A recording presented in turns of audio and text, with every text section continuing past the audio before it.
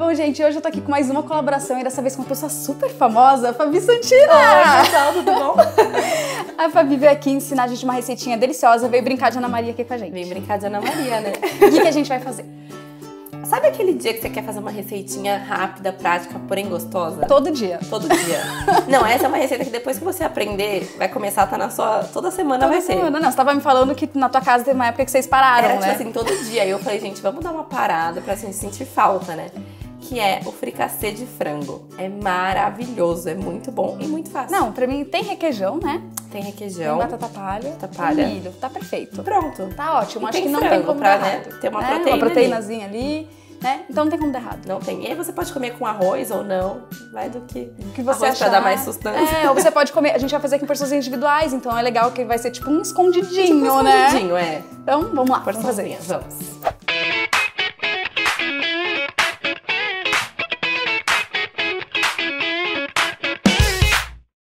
Tá, Fabi, o que a gente vai fazer primeiro? Primeiro a gente vai cozinhar o frango pra Tá. depois poder desfiar. Então, um peito de frango. O, o pe- aquelas duas Ué, bandinhas. as duas partes do- tá. do peito, então a né? gente vai colocar ele aqui dentro.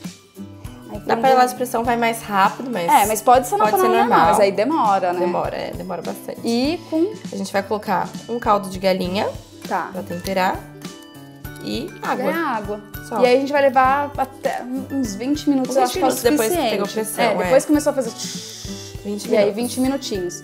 E aí pode usar, tirar a água Tirar a água e usar a técnica do... Da de força no bracinho. Se quiser. pra perder o tchauzinho. É. Vai. Ou aqui em casa eu uso o processador mesmo. Não, às vezes eu faço no liquidificador, eu faço É. no mixer pra ser mais Não, fácil. É, porque esse aqui é muita força Não, bruta. esse aqui, assim. quando meu namorado tá em casa, ele faz. Quando ele não tá, eu faço no mixer. Mais fácil. Muito mais prático. E é só a gente jogar água. Aí a gente vai levar lá pra cozinhar.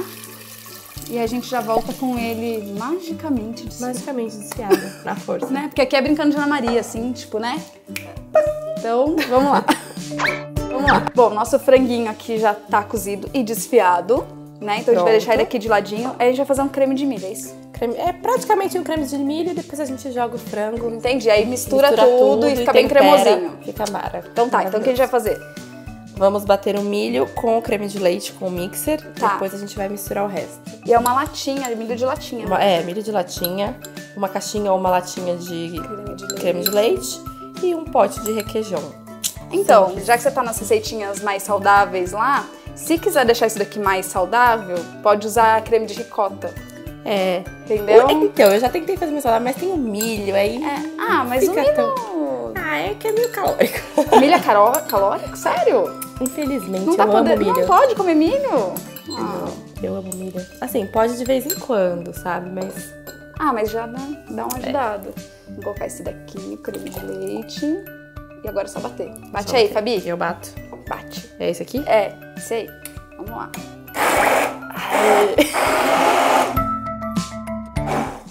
Deu? Deu? Acho que deu. Deu? A gente vai passar essa daqui pra uma vasilha porque a gente vai misturar as outras O coisas, resto, né? é. Cara, aqui em casa a gente adora eu creme amo. de milho. A gente faz creme de milho com tudo, assim.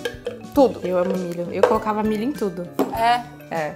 Não, aqui, aqui se deixar. Arroz com milho, tudo O namorado milho. come tudo com milho. Não, ele come, se deixar, ele abre a latinha de milho Ah, eu também. e come, assim. Eu amo milho. E desde quando você começou a cozinhar, Fabi? Você começou a cozinhar porque queria? Não, não. Assim, eu sempre quis cozinhar, mas ninguém- nunca ninguém me ensinou. Minha avó sempre soube cozinhar, minha, minha mãe não. E aí, assim, foi mais por necessidade. Sei. A gente viajava bastante pra praia com os amigos e ninguém sabia fazer nada. A gente só fazia macarrão. Aí sabe quando, tipo, todo final de semana, macarrão, macarrão, Era macarrão. tipo macarrão com molho pronto. É, e a gente falou, meu, vamos fazer alguma coisa diferente, mas o que, né, que a gente pode fazer? Aí eu liguei pra minha avó, vó, estrogonofe? Aí eu falei, mas explica assim, passo a passo, mínimos detalhes. Aí ela explicou, fiz, ficou super bom. Aí comecei a fazer mais, aí comecei, tipo, a pegar outras receitas e fazer. E eu falei, gente, não é tão difícil, é só você tentar que vai. E vai, é, E exatamente. aí foi, começou assim, até E aí hoje. você eu começou a pesquiso gravar. Receita, até hoje, vó, como faz? E vai. E o pior é que nunca fica igual da avó, né? Não adianta. A gente tenta, mas Olha, nunca fica é que igual. assim, minha avó faz muito tempo que ela não cozinha mais. Ela cozinha bem de vez em quando. Então, ela tá me ensinando Tá bem as ensinando. receitas. Mas tem coisa que Quando a avó dá. faz, não sei, ela, ela não conta, acho que todos os Não, ingredientes. mas é porque Nunca assim, é conta. sempre tipo um pouquinho daquilo a mais que você É fica porque ela com- faz a olho. Faz a olho, Ela nunca tem a medida. tem. Ah, é. Não, é a olho e fica mágico. E aí Fica você começou a incrível. gravar pro seu canal. E foi a primeira, foi Foi a estrogonofe. primeira foi estrogonofe. Foi estrogonofe? Foi estrogonofe e arroz. Que você fez brincando e tal. Que eu fiz rindo, gente, foi péssimo. Meu primeiro vídeo é péssimo. Não assista.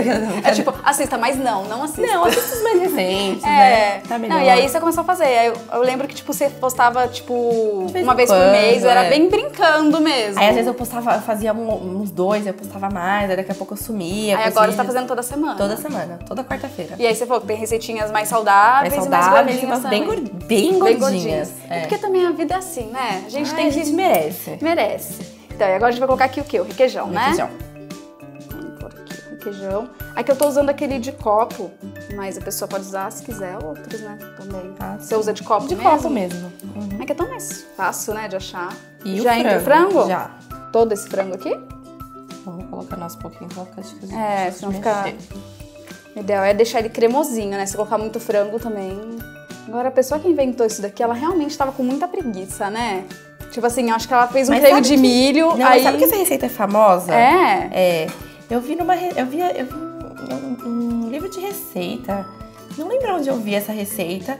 E ela é conhecida. Eu já fui em vários aniversários de criança que eles fazem em porçãozinha fricassê de frango. Eu fico, gente, que Não, e... mas teve um monte de gente que me pediu já no canal.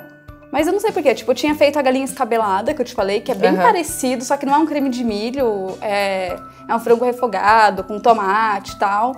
E aí o pessoal falou, ah, faz fricassê. Eu ficava tipo, meu, mas Então, eu já ouvi falar, essa receita também chama, chama tipo, frango caipira. frango caipira. Olha aí. Mas eu acho que a pessoa que fez, ela falou assim, ah, tem um franguinho aqui cozido. É, deixa eu ver o que, eu. Eu quero que um fique creme mais cremoso. Hum, deixa eu fazer isso aqui. E aí você põe com arroz. E aí, botar um salzinho, né, que a gente não É, colocou nada. temperar. Vou temperar aqui com Vai colocar uma pimentinha? É bom, sempre bom. Uma pimentinha do reino. E aí aqui a gente pode colocar os temperinhos que a pessoa quiser. É, tempera como Usa o quiser. que você quiser. A gente tá fazendo bem básico, mas Pode colocar mais coisa, pode colocar umas azeitonas no meio, pode né? colocar. O Você falou, pode colocar queijo. Queijo. Então, queijo, o ideal, é que quem quiser colocar queijo, coloca numa forma, coloca o queijo e coloca pra gratinar um pouquinho. Aí fica. Fica maravilhoso. Só que assim, Incrível. também, mas a batata palha vai cobrir, então. É, aí põe, aí depois- aí põe a batata palha depois. É. E agora só a gente já montar assim, rápido. Monta aí, tem que dar uma esquentadinha no forno Tá. e batata palha por cima. Ah, a batata palha não vai no forno junto. Não, senão ela fica um pouco Fica murcha. mole, É. entendi. Então a gente vai colocar isso daqui tudo dentro. E Um forno que é uns 20 minutinhos antes de forno? Só pra Só aquecer, né? É, só pra aquecer. Então tá, então vamos montar aqui.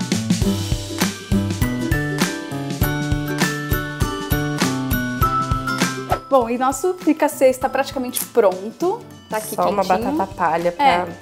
E a gente aqui, na mais verdade, gostoso. tava falando, Fabi, tipo, como não vai gratinar, a gente não escolheu usar, a gente pode até esquentar no micro-ondas, se você quiser, mais ainda mais fácil. prático ainda. Sim. Eu diria. E se você tiver feito a- a- o frango na panela normal, você pode, depois que desfiar, jo- jogar tudo na panela e, E só misturar, esquentar na seja, panela também. não precisa nem sujar tanta louça. Não, é simplesmente pra esquentar. Agora, se quiser colocar o queijo, aí, Aí põe é no forno. E se você quiser também, sabe o que dá pra fazer? Deixar ele um pouquinho mais encorpadinho, dá pra usar esse creminho pra torta, fazer sanduíche. Não, dá pra sabe? tudo, dá pra gente. tudo. tudo. Sabe aqueles, aqueles bolos salgados de festinha? E, e assim, dá pra comer com arroz. Fica incrível com arroz. Aí teve um dia que tinha pouco arroz em casa. O que, que eu fiz? Jogo arroz dentro, Nossa, mistura mistura e fica, tipo, já pronto pra comer. Tá certo. Fabi, super prática. E agora a gente vai colocar só a batatinha palha e comer. Comer. Então, vamos colocar a batatinha palha. Então, vamos ver se ficou bom agora? Vamos. O teste final. Hum. Não tem como ficar ruim, né? Não tem. Mistura com arroz. Hum. Ah, eu como só isso. Almoço e janta. O carboidrato já tá aqui Já na tá na batatinha. Hum. Muito bom. Fabi, eu adorei que você tenha vindo aqui no meu canal. Em breve E- você vai no meu. Vou sim, a gente vai fazer uma receita bem gordinha no canal dela, pode esperar. E conta aí, pessoal, o que que você faz lá no seu canal? Gente, tem um pouco de tudo. Além da receita, que é só uma vez por semana. Vlog, viagem, moda, Decoração. Decoração. Ela, essa menina decorou o apartamento dela sozinha. vida pessoal, tem tudo. Tem tudo, de tudo um pouco. O que aparecer a gente faz. Se você for de outro planeta e não é inscrito ainda no canal da Fabi, se inscreve porque a gente tem que conseguir um, milhão, né, Fabi? quase. Logo. Rumo um milhão. Você já sabe o que você vai fazer com sua placa gigante de um milhão? Não sei, não tem nem espaço pra colocar, mas a gente arranja, a gente arranca os quadros da parede e põe a placa. Então, vai lá se inscrever no canal da Fabi, porque ela precisa conseguir esse um milhão logo, porque a gente precisa Pra ter colocar. festinha. É, ter festinha e colocar essa placa, tipo, lá na decoração do apartamento dela. Né? Então, é isso. A gente vai continuar comendo. Beijo, tchau, tchau. Tchau!